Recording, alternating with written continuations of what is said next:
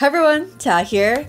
So this is the Pixel 8 Pro, and it's the latest flagship phone from Google. Their next attempt to win customers over from Apple and Samsung. After a week with the phone, here are my initial thoughts. The design isn't dramatically different from last year. The cameras have been grouped together, they went from glossy to one of the softest matte finishes I've ever felt, and it's got slightly more rounded corners, which I will say pairs much better with the various elements of the Pixel software. Hate or love the camera bar, it's become the Pixel's most defining physical feature. It's just how you could easily recognize an iPhone or Galaxy phone. The moment you see this, you know it's a Pixel. And I think that's a good thing. Looks aside, you know what I love most about the camera bar? The fact that it doesn't wobble when you use it on a table. Both the current iPhone and Samsung flagships wobble like crazy. On the Pixel, thanks to the camera bar, no matter where I'm tapping, absolutely no wobble at all. It's solid. I don't know, it might be trivial to a lot of people, but yeah, I love that. I know everyone's been gushing over the Bay colorway, but I'm a big fan of neutrals, as you can tell from my selection for phones this year. I'd rank them porcelain, obsidian, and Bay in that order. There's a new temperature sensor on the back, and while I can't see myself using it all that often, it does give the Pixel a unique hardware feature that isn't found on many other phones. Personally, unless they have bigger plans for it, I think the resources could have been better used on other aspects of the phone. The display gets a few nice improvements, with the most notable being that it is now completely flat, so finding a good screen protector should be much easier. What's interesting is that the resolution actually got a slight downgrade.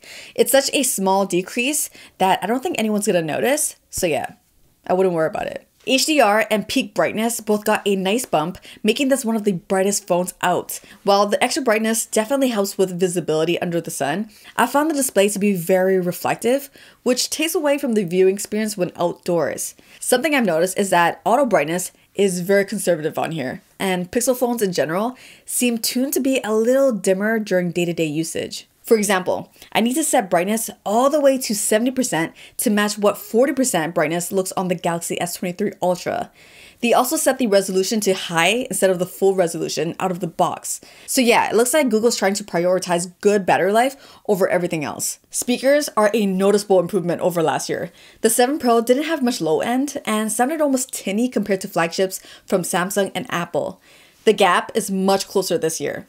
The 15 Pro Max still sounds the best to my ears, but the S23 Ultra and Pixel 8 Pro are right behind it. So Google continues to use an optical in-display fingerprint scanner rather than an ultrasonic one, which many consider to be more reliable and secure. The scanner has been perfectly fine to be fair, but from my experience with various optical scanners, if you tend to have dry skin, it does struggle from time to time. But the big story is that it now features a secure face unlock option thanks to machine learning, which allows you to use it with something like banking apps. The fact that they were able to do this while still only using the selfie camera without any additional sensors is kind of a big deal. It now has a class 3 biometric security rating, meaning it's unlikely to be tricked by an image or a face that isn't you unless you have an identical twin or something. I tested it with both my banking app and password manager.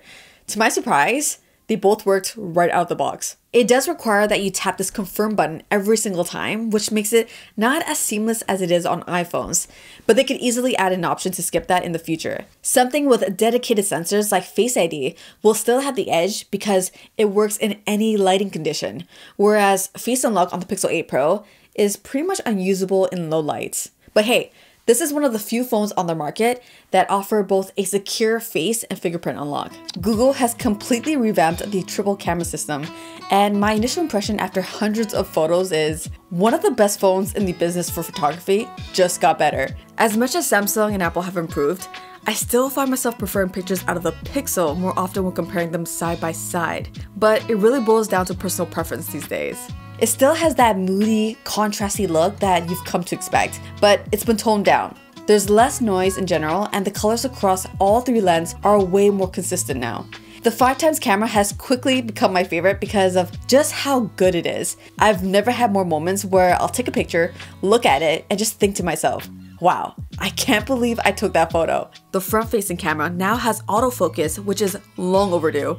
I don't love the selfies as much as I like the back cameras. It's perfectly fine, but at times, the processing has a little too much contrast and over sharpening. I do love that Google is giving us more tools and options in the camera app. You can now capture photos in the display P3 format for more vibrant colors.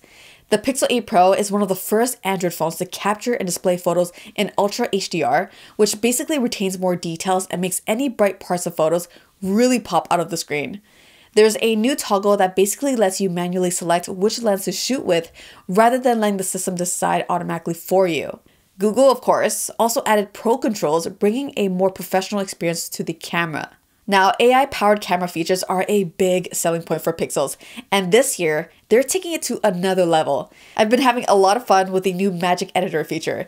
It's really hit or miss, especially if you try to move and resize objects, but I found the sky swapping to be pretty good.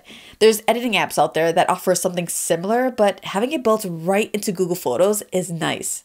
My favorite new feature has to be Best Take, which can basically do face swaps as crazy as that sounds. The idea is to take a whole bunch of pictures and then use best take to find the best combination of facial expressions so you end up with a group picture you're happy with. It's kind of scary how good the face swaps are. Unless you were there, you wouldn't really know that the picture was AI generated. As many have said, what is a photo anymore, right?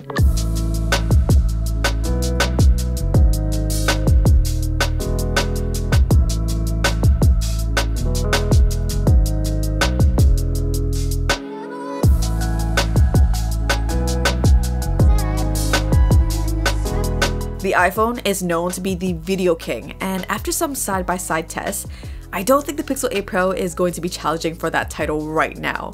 But the gap really isn't as massive as it's been in the past. Google's Video Boost feature, which comes out in November, is supposed to really level up the Pixel's video capabilities, so we'll have to wait and see how that goes. The Pixel 8 Pro is powered by Google's own Tensor G3 and has more AI and machine learning capabilities.